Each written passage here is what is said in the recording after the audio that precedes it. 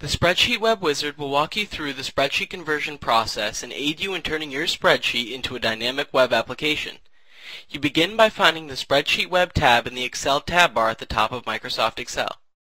From here, you press the Wizard button to open up the Spreadsheet Web Wizard. Press Next to begin the process.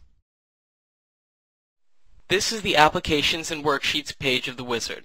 From here, you can choose your application's name as well as add worksheets to your application. We'll start by changing the name. This is also where you add worksheets to your application. If you have multiple worksheets in a single application, then the Spreadsheet Web Wizard will automatically create a tab bar at the top of the application which will allow the end user to move back and forth between worksheets. If you'd like to remove this tab bar, make sure to check the Hide Worksheet tab bar option on this page.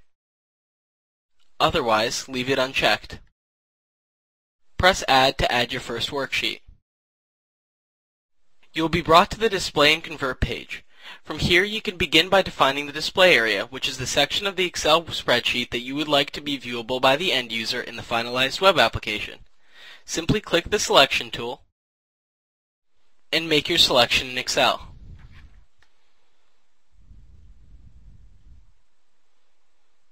When you are done, press OK. This page is also home to the Convert and Display options, where you can select from several features of Excel spreadsheets and determine whether these aspects of the spreadsheet will carry over into the web application. By default, all available features are selected to be maintained and converted, including supported pivot tables, charts, form controls, images, alignment, font, borders, background colors, and comments. If you would like any of these to not remain preserved, simply uncheck its checkbox.